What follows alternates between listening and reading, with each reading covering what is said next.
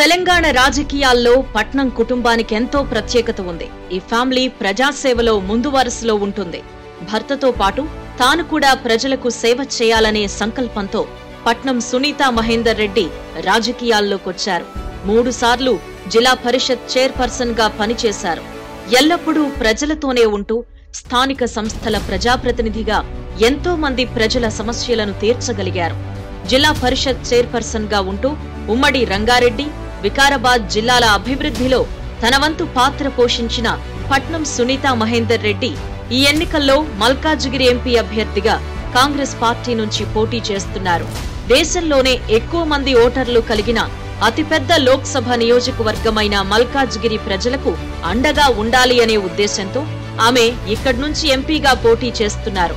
పార్లమెంట్లో మల్కాజ్గిరి ప్రజల గొంతుక వినిపించేందుకు పట్నం సునీత మహేందర్ రెడ్డిని ఎంపీగా గెలిపిద్దాం.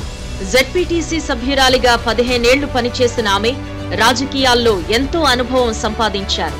స్థానిక సంస్థల ప్రజా ప్రతినిధిగా పనిచేయడంతో ప్రజా సమస్యలను ఎలా పరిష్కరించాలో తెలిసిన వ్యక్తి జిల్లా పరిషత్ చైర్పర్సన్గా పాలనపై అనుభవం ఉన్న వ్యక్తి పట్నం సునీత మహేందర్ రెడ్డి.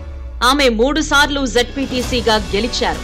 ఆమె చేస్తున్న ప్రజా సేవకు గుర్తింపుగా మూడుసార్లు జిల్లా పరిషత్ చైర్పర్సన్ పదవి ఆమెకు దక్కింది.